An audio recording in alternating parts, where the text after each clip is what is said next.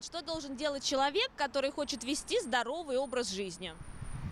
Вести здоровый образ жизни. Каким образом? Не пить, не курить, заниматься спортом. У вас получается? Ну, не совсем. Ну, постараться, по крайней мере, по возможности заниматься больше, если есть спортом. Соблюдать диету, если это тоже. Ну и следить за здоровьем, если какие-то заболевания не затягивать, обращаться к врачам в свое время. Вот. А так, не стареть душой в первую очередь. Просто жить. А на ваш взгляд?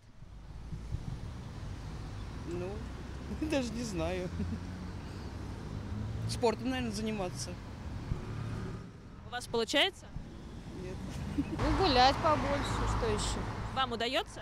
Ну вот, сегодня день свободен, я поспала до обеда, вышла на улицу погулять. Что должен делать человек, который хочет вести здоровый образ жизни? спортом заниматься, правильно питаться. Ну, меньше вредных привычек, больше гулять, заниматься спортом, правильно питаться, как здесь сказали. Ну, в принципе, вообще просто считать, ну, как сказать, вести правильный образ жизни. Правильно питаться, соблюдать режим дня.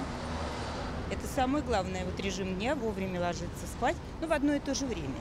Что, работать надо. И будет здоровый. Пить не надо. сам себя сдерживать во всем и а со всеми своими недостатками бороться, как курево, пьянство, э, переедание.